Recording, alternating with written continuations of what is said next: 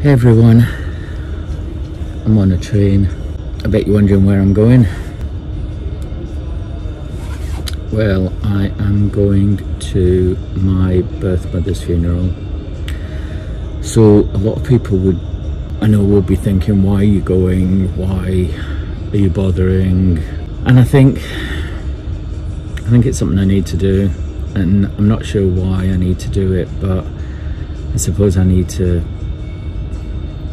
accept that it's over and it's finished. And yeah so um, we're going to go back to Birmingham. Now, Birmingham's where it all started off for me. And I don't really talk about Birmingham that much because there's not a lot of good memories from it. There's some you know from definitely from meeting my aunt and my cousins. But um, not a lot.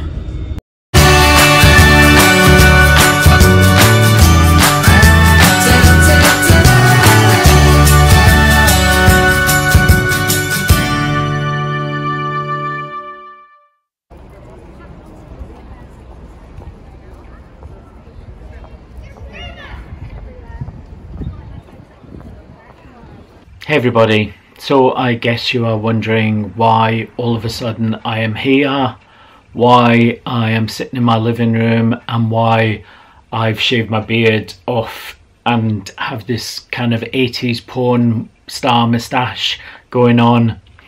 I will answer all those at the end of this video.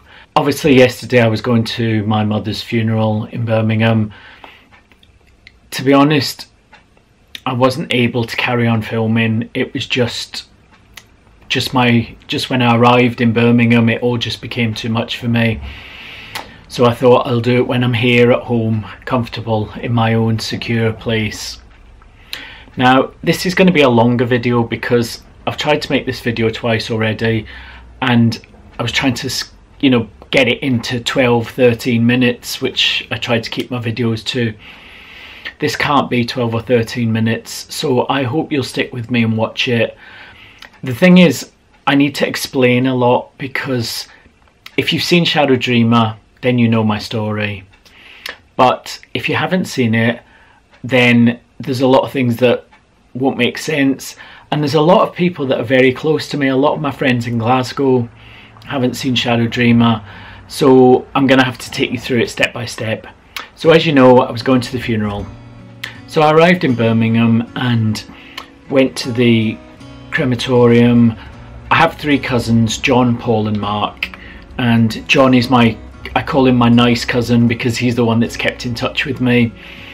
I used to be very close to Paul as well, but when I left Birmingham, I think there was a lot of anger towards me. Now my aunt, who is my mother's sister, this is my aunt here, she was amazing. She passed away nine years ago. And this here is my mother, Sylvia. Now, my aunt was amazing. She was just, it was like, even though they were sisters, my aunt got all the motherly instincts and my mother got none of them at all. Um, my aunt was amazing and I lived with them for six months when I was 19 my aunt had opened her home up to me and I thought it was the right thing to do to move there. So I moved in with my cousins, my brother. I also have a brother called Mick who is the same mother from me but he was adopted by my aunt and uncle and brought up in that family as their son.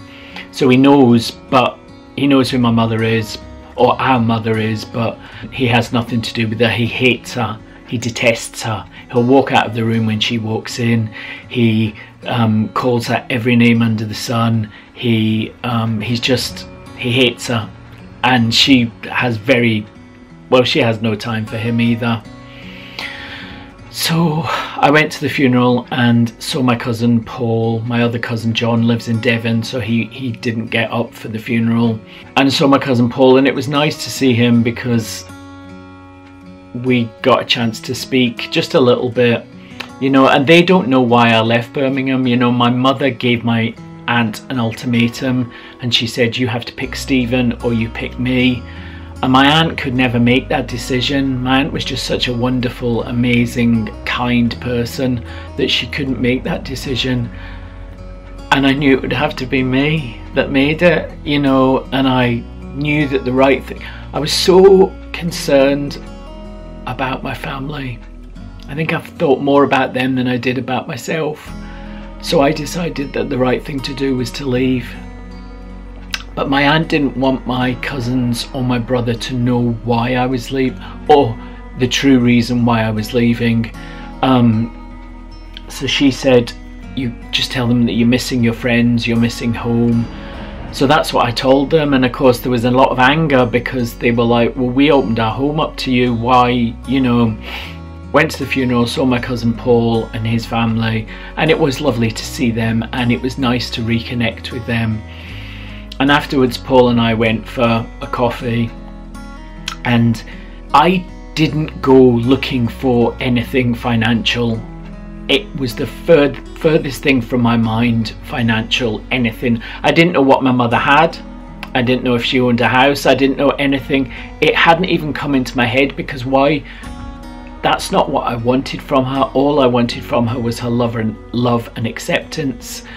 So Paul was talking to me, and all of a sudden he went, "Stephen, you know we're really, we're really shocked by the will," and I was like, "What you mean?" And my mother owned a small flat in Birmingham, and he said she split the the the will between the three cousins, John, Paul, and Mark which obviously I understand. But then she, then he said, and she, she's also split it between Mick as well, my my brother, who, as I say, for 30 years the guy has not spoken to her. He didn't come to her funeral. He he hated her, and I know it seems like I'm annoyed because I didn't get something, but that's not what it is. It was like the final thing that my mother could do. The final the final way that she could have said, I accept you and you're my son. But she she cut me out of that will. She cut me out of that altogether. And it's just it's just heartbreaking because it just makes me think she never even Throughout her life, she never accepted me, and even in death, she didn't accept me.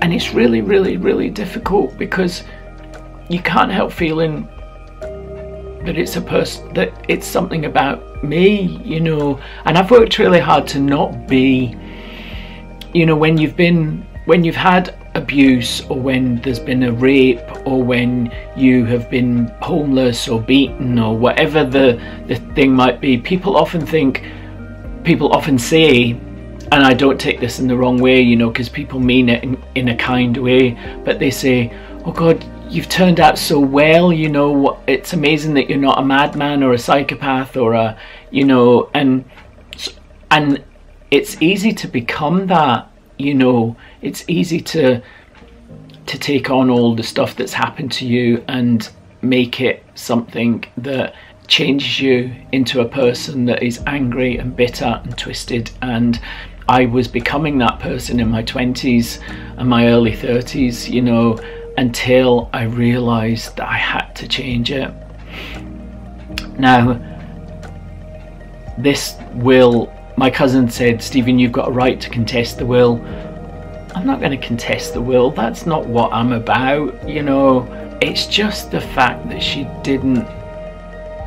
She included my brother Mick, who just despised her. And she didn't include me. And and I know I know it seems like I'm annoyed because I didn't get something, but that isn't that isn't it. That isn't it at all. It goes a lot lot deeper than that, and it's just all I ever wanted from my mother was was her love and acceptance. And I never ever got it. And even in death, even in death, it didn't happen. And I feel like it's my fault.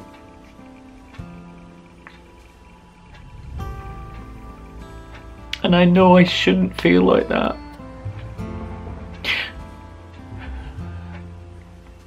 But I don't understand why she cut me out again.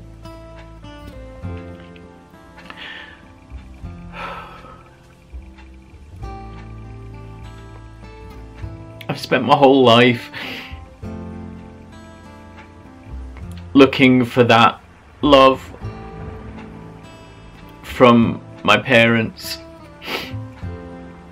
And I've never got it and now I'm never gonna get it. It's never gonna happen. But this this final thing is just it is like the final nail in the coffin you know? It's just she didn't like me and I don't know why. I have so many friends that have kids that say how could she have done that? How could she have you know just there was no love there you know and this proves it you know. It's just it's really really difficult and I'm trying not to make it my fault because it's not my fault but I can't help feeling that it is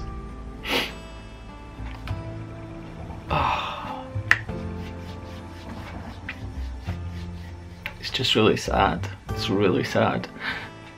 It's really, really sad.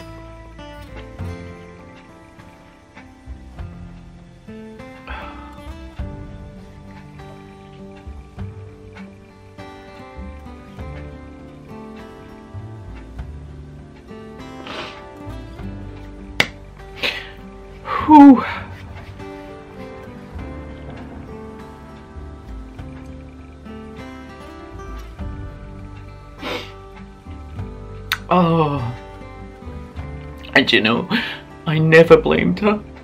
I never blamed her. And my brother blames her for everything. Everything.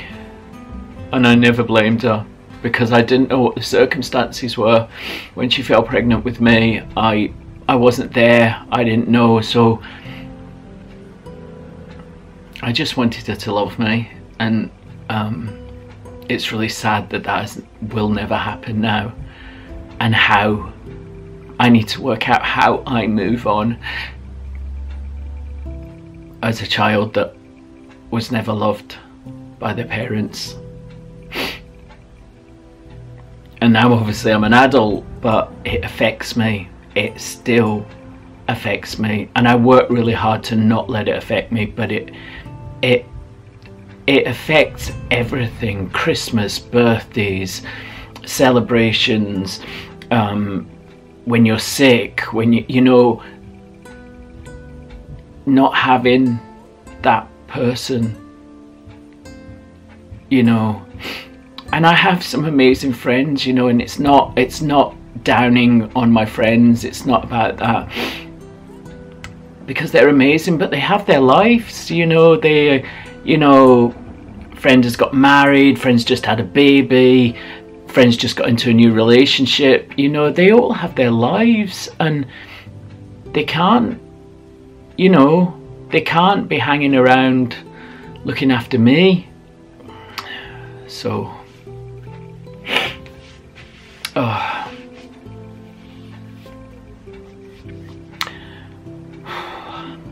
I said I would answer some questions. So um, the porn moustache. Um, I am currently taking part in a drama that's written by my friend Lance, who I did a video with a while ago. Um, we are still writing our play, Who We Are. Um, we've had it's all been on hold because of COVID, but we're still going to be working on that. But this is a, a story that Lance wrote in 2008 so we're doing it um, over three Sundays and it's going to be on YouTube. Well, it is on YouTube, so the link is in the description box below. So at the moment when I make this video, you can check out the first part. Um, the next part is going to be on Sunday and then the, the final part will be on the following Sunday. So yeah, I'm playing a, an 80s detective, sorry, a 90s detective.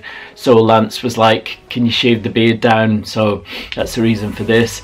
I'm in the living room just because I have all my camera stuff set up in here because I've been doing the Zoom, it, we're doing it all via Zoom. So it's a really different way of working. It's really interesting, you know, to, to, to see how that works. Oh yeah, extra video. So there's an extra video coming out next week. So next Thursday there will be an extra video for you because I know I've been distant for the last four weeks or so um, but it's just been because of all this going on with my mom you know and um, yeah. It's just I just don't know I just don't know how to how to feel better you know? Um, and I miss Molly, I miss my friend Molly, I miss Karen. I just, you know, there's been so many people that have gone in the last couple of years, and it's just like I feel too young to be to be dealing with this, but I'm not. You know, I know um, some people have to deal with it at a lot younger age than me. It's just the final realization, you know, that she didn't care.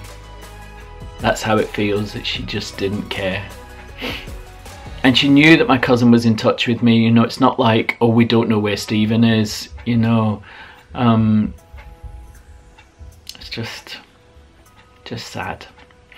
Anyway, everybody, I'm gonna shush because this has been a long video. Thank you for watching, and I'm sorry. It's, it, you know, I just, I just wanted to tell you about that feeling of sadness, you know, and how real it is, and yeah.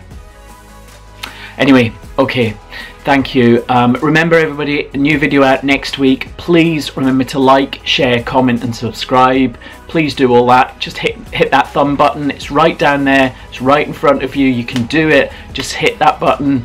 Um, remember to check out the project that I'm doing with Lance um, and uh, the link is down below. And um, yeah leave me some comments. Tell me if you have been through a similar thing. Um, yeah families are crazy aren't they? And believe me I'm not looking this isn't a sympathy video. I don't want sympathy. I'm not very good with sympathy to be honest. It makes me feel uncomfortable. I don't like it. Um, so it's not about that, you know, it's just about talking about her and yeah, trying to accept that it's all over. Okay, everybody, thank you. Um, I will see you next week. Remember, next week I've got an extra special video coming out, all being well, um, COVID depending, but hopefully it will all come out next Thursday. So thank you, take care.